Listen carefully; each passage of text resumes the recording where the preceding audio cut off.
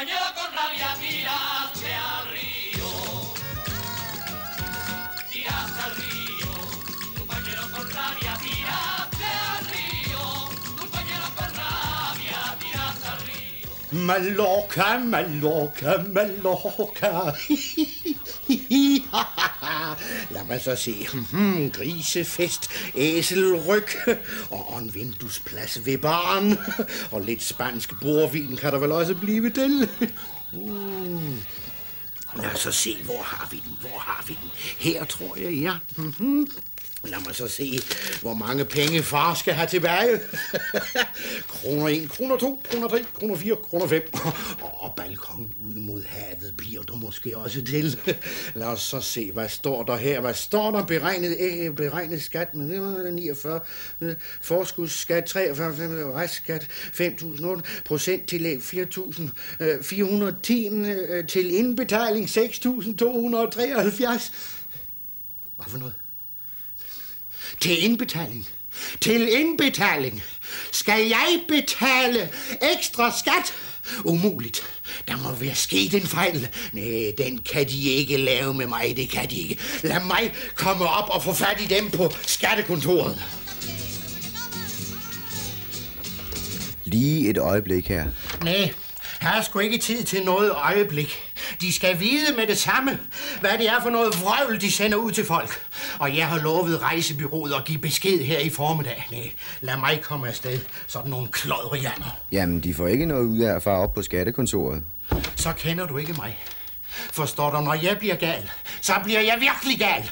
Og så er jeg skingrende lige glad med al jeres papir og pjat. I skal ikke komme her og stjæle mine penge fra mig. Det gør vi så sandelig heller ikke. Nå, ikke det? Hvad kalder du så det her? Hvad bare? Rent tyveri ved højlysdag. 6.273 kroner lige op af fars lomme. Med mindre det altså er en trykfejl, og det i virkeligheden er mig, der skal have alle pengene. Hvor ved du fra? Ja, jeg forstår, at vi er dus. Men hvor ved du fra, at du skal have penge tilbage? Hold da kæft, mand. Med alle de penge, jeg har betalt i skat hver eneste måned, så må jeg sgu da have penge tilbage. Jeg må hellere komme op og få fat i den, inden de smutter. De smutter ingen steder. Men det vil være spild af tid at tage op på skattekontoret. Og hvorfor skulle det så være spild af tid? Fordi du selv meget lettere kan kontrollere, om din årsopgørelse er forkert. Du har faktisk alle tallene herhjemme. Hvor har jeg dem hen? På din genpart til selvangivelsen. Den du udfyldte samtidig med selve selvangivelsen. Der står det hele. Nå, jamen det gør det hele jo meget nemmere. Og så kan jeg samtidig få klarlagt, hvor mange penge jeg skal have tilbage. Men, men, men hvor har jeg da gjort af den genpart? Kan, kan du huske det? Nej, men prøv dit skrivebord til venstre. Der gemmer de fleste den.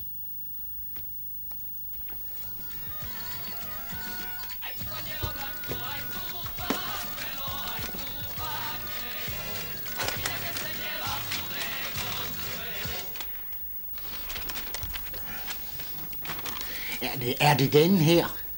Ja, den ser rigtig ud. Nå, lad os så se. Ja, og læg nu mærke til, hvor let det er at finde ud af tallene.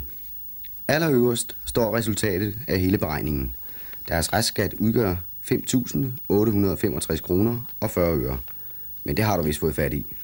Jamen, jeg tror ikke på tallet. I kan ikke bare slynge sådan noget ud. Bare rolig, det gør vi heller ikke. Det hele er meget nøje programmeret og kører på EDB. Og EDB-maskiner regner ikke forkert. Nå, jamen, jeg har da ellers hørt, Ja, at... øh, du må undskylde, hvis jeg lyder lidt overlegen her. Men EDB-maskiner kan faktisk ikke regne forkert. Der kan kun komme et forkert resultat ud af det, hvis der er puttet nogle forkerte tal ind. Ja, det er sikkert det, I har gjort.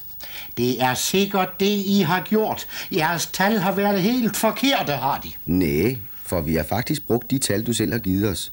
Plus de tal, vi har fået fra din arbejdsgiver, dit pengeinstitut osv. Det var de tal, du ikke behøvede at skrive i de gule felter. De gule felter, ja. Ja, det må være der, den er gal. Nej, jeg er ked af at måtte bedrøve dig, for systemet med de gule felter fungerer meget fint. Disse oplysninger, til lige med de oplysninger, du selv har skrevet på din selvangivelse, bliver herefter kørt sammen i et fælles EDB-register på kommunedata, hvor så årsopgørelsen udskrives. Og som jeg sagde før, EDB-maskinerne kan ikke regne galt. Jamen, hvordan kan det gå til? Jeg troede, jeg skulle have penge tilbage. Vi kan jo prøve at gå lidt videre i teksten. I næste linje kan du se din skattepligtige indkomst og formue. Stemmer de med genparten? Ja, øjeblik, jeg skal lige... Ja, ja, ja, ja, det stemmer. 117.000, det stemmer. Godt. I næste linje står der, hvor meget du har betalt i skat sidste år. Det kaldes forskudsskat. Er du med? Ja, ja, ja. Godt. Ved siden af står der, at de 1.328 kroner af forskudskatten var restskat fra 1983. Nå, jamen, det var jo en gammel skade. Ja, og den blev regnet ind i skatten, fordi beløbet var under 5.000 kroner. Havde det også været tilfældet med din nye restskat, ja, så skulle den første have været betalt i 1987. Min nye restskat. Ja. Øh, du er måske stadig ikke overbevist, Nej, det er jeg så sandelig ikke ved våge påstå. så lad os gå videre. Og nu er det genparten for alvor kommer ind i billedet. For nu kommer de tal, der ligger til grund for EDB-maskinens regnestykke. Stemmer årsopgørelsen med genparten? Mm, øj- øjeblik. Øjeblik. 135, 1011, øh, 11, 11, 11, ja, ja, 11, øh, ja, ja, ja. Ja, det, det, det må jeg indrømme. Så kan jeg også godt garantere dig, at din restskat er regnet rigtigt ud. Goodbye, Mallorca. Det var sandelig en, en kort fornøjelse. Men, men, men sig mig engang, de her tal, der er behæftet med små stjerner, er, er det de tal, I slet ikke er sikre på, hva'? Nej, det er dem, der stammer fra gule felter. De gule felter, nå jamen altså, de gule felter, dem kan der ikke have tvivl om, fordi jeg har lige, jeg har lige det med her med min genpart. Ja, ja, der kan du selv se. Men hvordan kan I vide, at ikke alle tal er forkerte, var? Og jeg viser gerne til Mallorca. Ja, men tallene passer. Jeg har gennemprøvet regningssystemet i alle ender og kanter, så jeg er bange for, at der ikke er noget håb. De 5.865 kroner og 40 øre er gode nok. Du lyder forbandet overbevisende, gør du. Men så var det da et held, at jeg har gemt nogle penge på min konto, så jeg ikke ryger helt rabundus. Men jeg havde altså regnet med, at jeg fik nogle penge tilbage. ja, ja, det er jo kun EDB-maskinerne, der ikke kan regne galt. Ja, Men øh, der er selvfølgelig, selvfølgelig, hvad? ja, der er selvfølgelig det, at årsopgørelserne ikke er endelige. For det siger jo sig selv, at vi endnu ikke har kunnet nå at gå alle selvangivelser efter i sømmene. Øh, vil det sige, at der stadigvæk er en lille bitte chance? Nej, nej, jeg er ked af det. Langt de fleste er endelige, så chancen er ikke stor. Det er normalt de lidt mere indviklede selvangivelser, der efter en gennemgang viser sig at være forkerte. Og så er det som regel skattevæsenet, der skal have penge tilbage. Nå, jeg håbede lige... Åh, oh.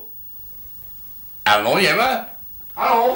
Åh oh, nej, åh oh, nej, det er min nabo Antonsen. Han er simpelthen ikke til at holde ud.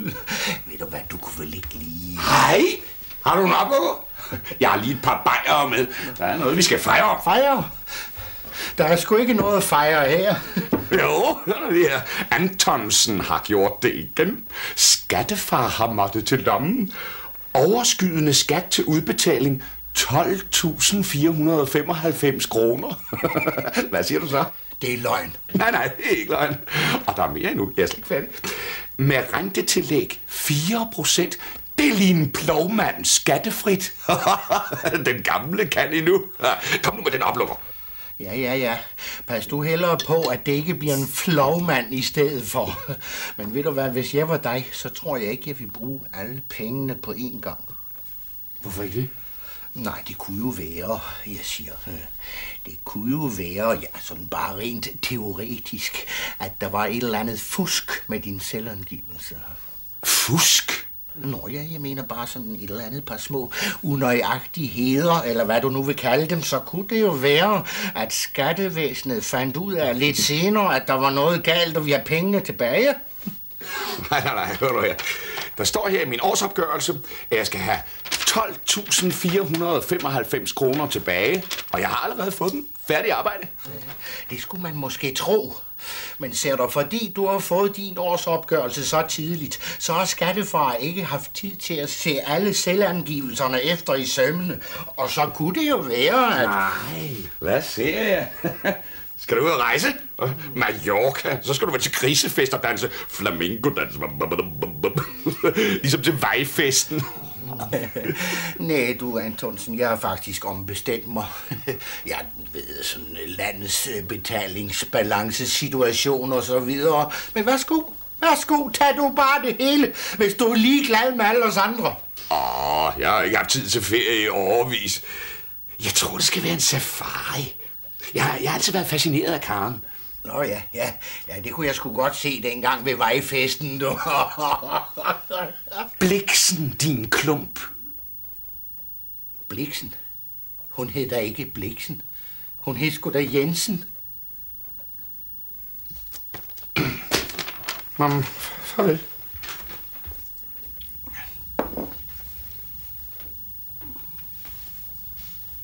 Nå, op med humøret. Jeg har et tilbud til dig. Tilbud? Øh, på hvad? Rabat. Rabat? Ja, rabat. Du sagde, at du trods alt havde nogle penge stående på kontoen. Nå, øh, vil du nu også have fingre i dem, hva'? Ikke nødvendigvis, men hvis du betaler din restskat inden 1. juli, så slipper du for at betale procenttillæg. Og der er der immer væk 410 kroner og 57 øre at hente. Ja. ja, det var måske værd at overveje. Ja, du kan få et særligt sivekort på posthuset eller hos skattevæsenet. Sivekort? Jamen, jeg har jo fået tilsendt sivekort.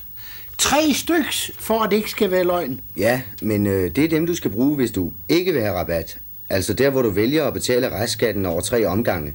Nemlig 1. september, 1. oktober og 1. november. Nå ja, men hvis nu jeg pludselig en dag ganske tilfældigvis får en ubendig trang til at betale det hele på én gang, ja, jeg lige for sådan øh, øh, at spare de der 410 kroner renter, øh, kunne jeg så ikke benytte mig af et ganske almindeligt sivekort, hvad bare? Det vil jeg fraråde dig. Det giver alt for mange fejlmuligheder. Og hvordan så det? Jo, forstår du, hvis du ikke bruger det foretrykte sivekort, så kan du risikere, at du kommer til at skrive forkert sivenummer på. Og så går pengene måske det gale sted hen. Uha, uha, uha, uha. Hvor herre bevares af pengene. De skulle jo nødig ende på Antonsens konto. Han har vist fået rigeligt, hva'? Ah, så galt kan det nu ikke gå, men alligevel. Nå, jeg må løbe. Tak for hjælpen, du. Ja, selv tak. Øh, hvad, hvad, hvad for en hjælp? Ja, for at du ikke får ind på skattekontoret og forstyrrer den. Det giver den nemlig mere tid til at lave kontrol på de svære selvangivelser, forstår du. Uh, nå ja, ja selv tak. Uh, jeg må vist hellere finde nogle andre brochurer frem, tror jeg. Uh, en helt anden slags. Uh, men uh, ellers tak. Tak for hjælpen. Farvel. Trods alt. Ja, farvel. Og god tur.